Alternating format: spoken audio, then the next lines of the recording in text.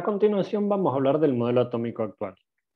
Para llegar a él, lo que vamos a tener en cuenta son los postulados de de Broglie, quien sugirió que la dualidad de la luz no es única para la luz, sino que también se puede aplicar para la materia. Fue capaz de demostrar que cualquier partícula material se puede tratar como si fuera de naturaleza ondulatoria.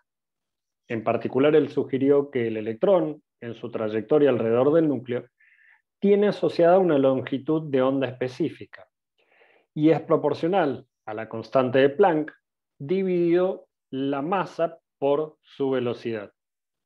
Esa cantidad, masa por velocidad de cualquier objeto, es denominada también la cantidad de movimiento o momentum.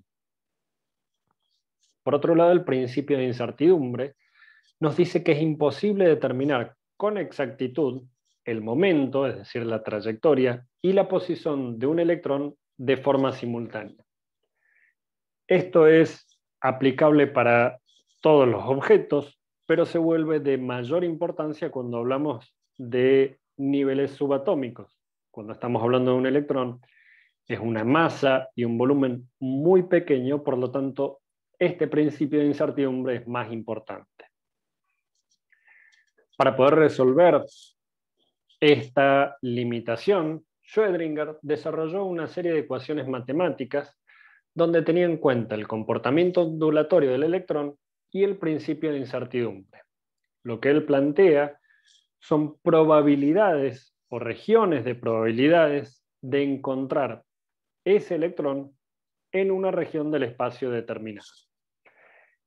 Él describió esas probabilidades con funciones matemáticas denominadas funciones de onda, y estas funciones de onda nos explican dónde se encuentra o dónde tiene mayor probabilidad de encontrarse un electrón en el espacio.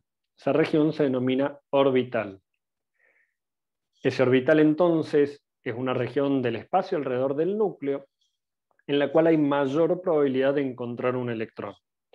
Son regiones difusas y tienen formas definidas.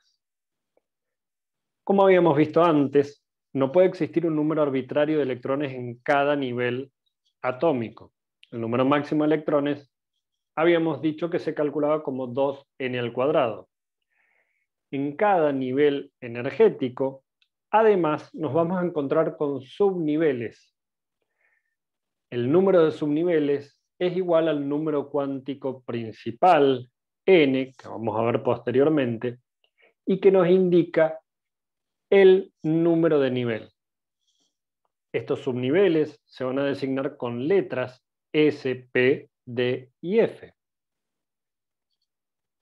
Para cada nivel entonces vamos a tener un número máximo de subniveles. Para el nivel 1, como dijimos, tenemos la misma cantidad de subniveles, 1, y se denomina S.